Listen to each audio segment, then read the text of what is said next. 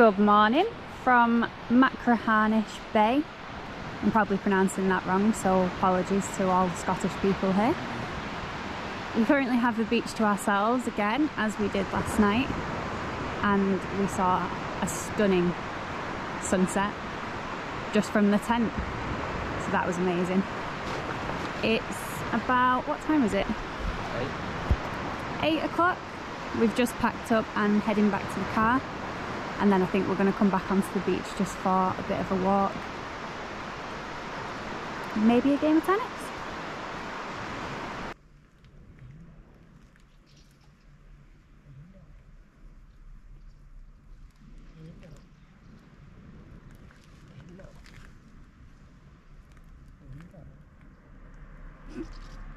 Do you want to play badminton?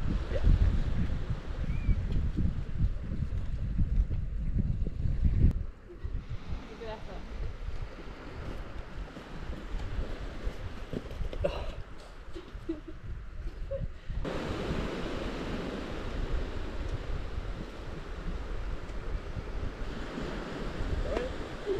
Well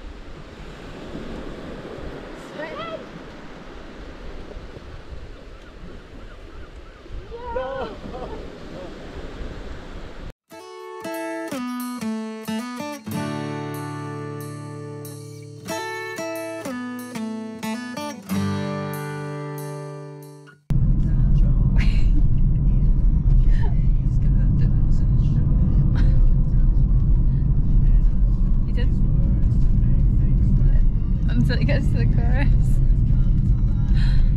We are back on the. No, he's not to start.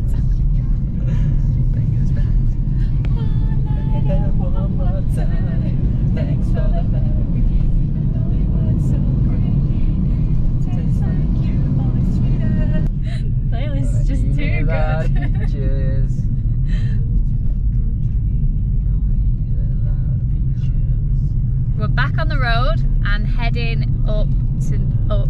Up to Oban? Yeah. Heading north up to Oban. And it's about two hours, 40 minutes away from Campbeltown. So we'll probably stop along the way just for a little break and then hopefully get some lunch in Oban.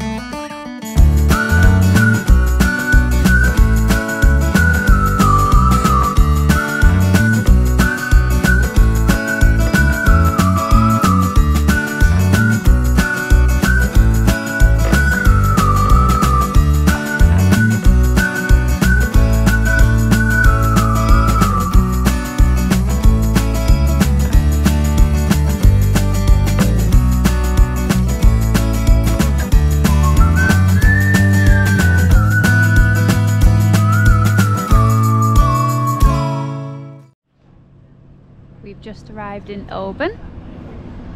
As expected, it is a bit busier than where we've come from. But it's a nice little harbour town. And we're to go and get some lunch. I think Mark wants some seafood.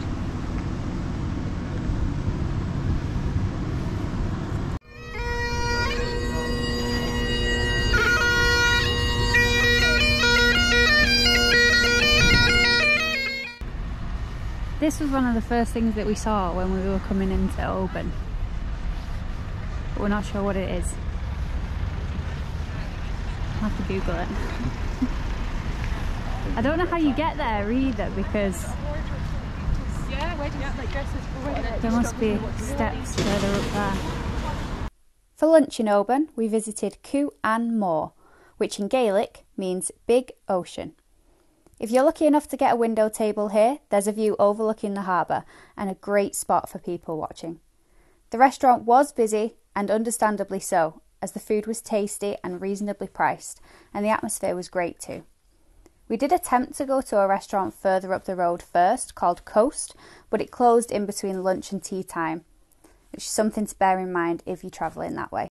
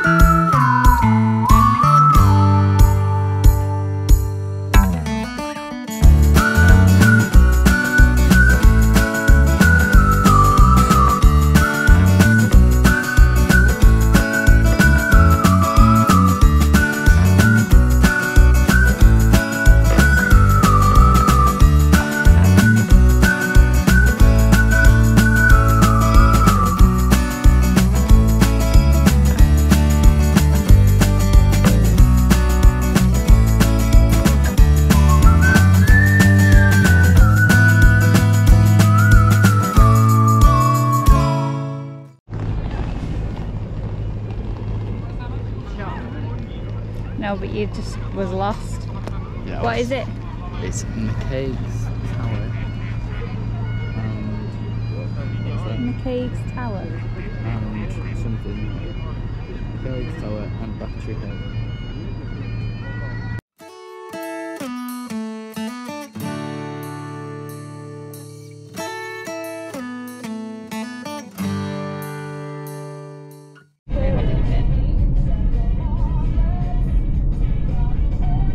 Hello.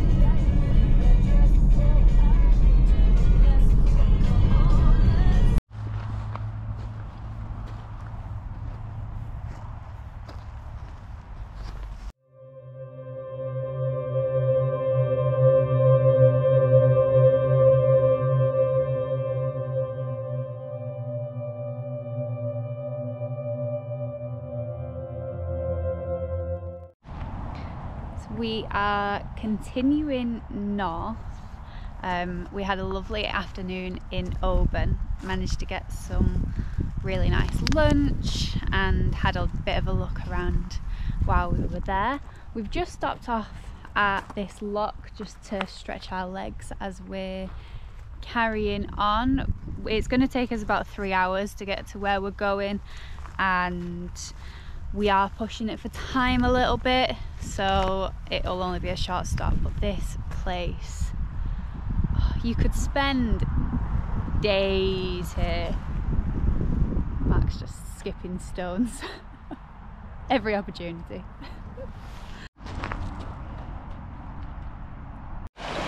So this was an unexpected discovery. I just walked over here and found a waterfall.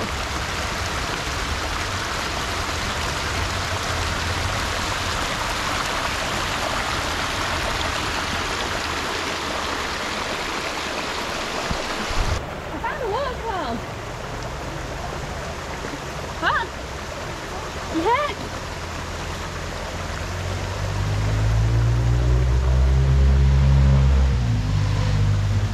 Careful in there.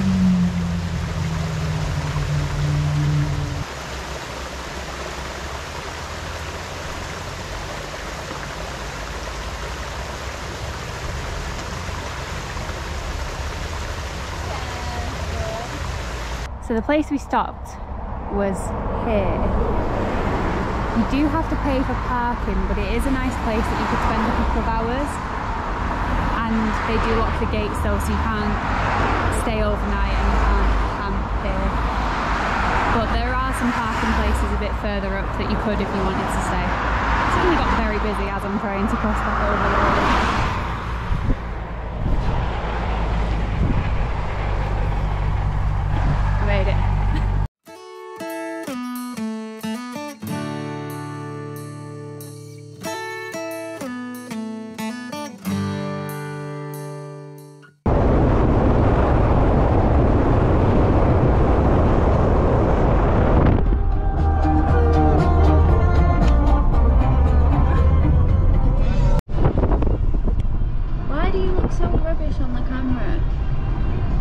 Beautiful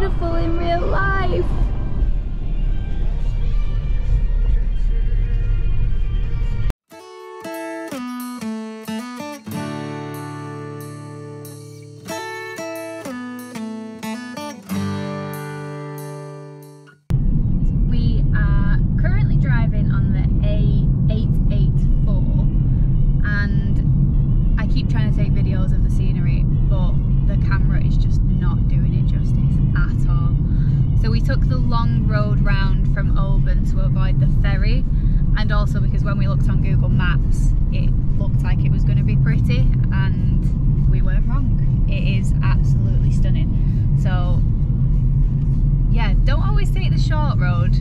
Take the long road because sometimes it's just even more beautiful. And we, we've seen about two cars on the whole journey here as well. It, it's just incredibly quiet,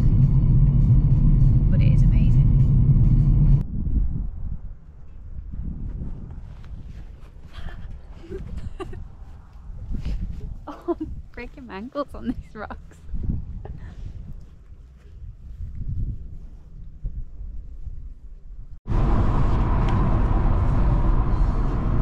Take your time.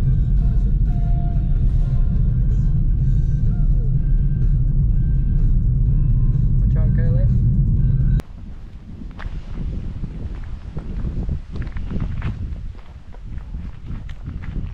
So we're staying in this lovely uh, Airbnb.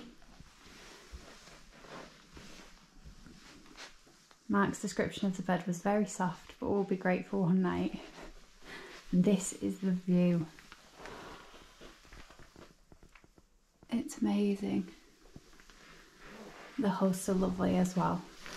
We've got some homemade shortbread, some oranges for the morning, and we've got tea, coffee, complimentary biscuits.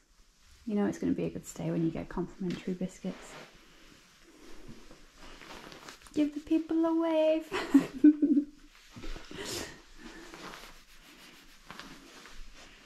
yeah, it's nice.